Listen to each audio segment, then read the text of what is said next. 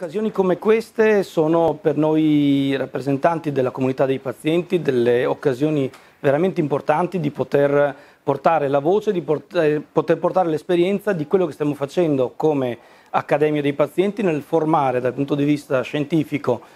pazienti e rappresentanti futuri dei pazienti nei tavoli regolatori, dando loro delle basi di formazione scientifica forte su tutto il percorso di ricerca e sviluppo dei farmaci. È chiaro che questa è una prima fase che cercherà di formare delle persone eh, scientificamente preparate in modo da poter interagire in maniera efficace e che siano anche garanzia per le comunità dei pazienti di poter essere rappresentate da persone con una uh, preparazione adeguata, ma questo poi a cascata dovrà eh, cercare di essere portato a tutta la comunità dei pazienti e se possibile anche alla popolazione generale con degli strumenti come per esempio il toolbox di Eupati che è un sito messo in sette lingue eh, potete fare una ricerca su Google digitando toolbox Eupati e lo trovate, lì è possibile verificare direttamente e studiare anche in maniera semplice e senza grandi complessità tutto quello che è il percorso di ricerca e sviluppo dei farmaci. Occasioni come questo, come dicevo, sono molto importanti perché fanno capire che i pazienti coinvolti anche in queste